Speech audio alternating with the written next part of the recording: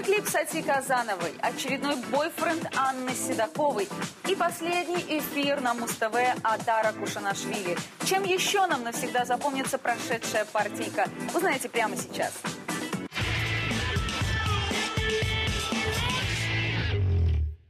Плачьте горькими слезами все, кто пропустил последнюю партийку Муз-ТВ. Безбашенный Атар Кушанашвили проводит свой прощальный эфир. Просто потому что постарел. И самое время уйти без э, очень э, свойственной нашему шоу-бизнесу помпой. Ну так подтверди своими поступками свою приверженность идеалам. Что, собственно, телеведущий и сделал, но кроме грустных новостей были и радостные. Например, Сати Казанова впервые представила свой новый клип именно на партийной зоне.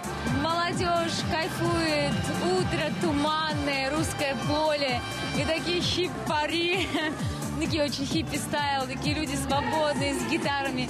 И там почти не накрашенные, почти не причесанные, не спавшие, счастливые. Все, впрочем, как в жизни.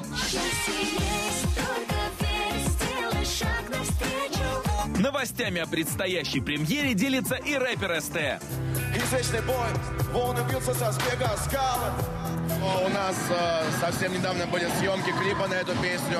И вот готов клип, и совсем скоро, я уверен, зрители телеканала Муз-ТВ смогут наблюдать его уже в эфире. На этот раз среди приглашенных звезд и группа Никиты Преснякова «Мультиверс». В жизни музыканта тоже кое-что изменилось. На премии Муз-ТВ на рокера падает баннер.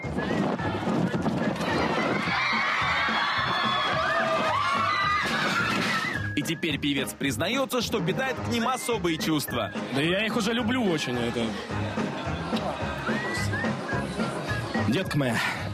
А вот кого особенно любят фанаты в этот вечер, понятно без слов. И как ни странно, такое положение дел только расстраивает певицу. Огорчаюсь безумно, потому что, ну, понимаю, что там кого-то давят, кого-то еще что-то, и я понимаю, что должна...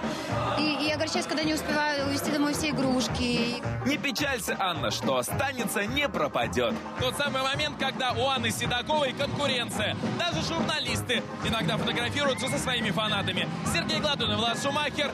Про новости.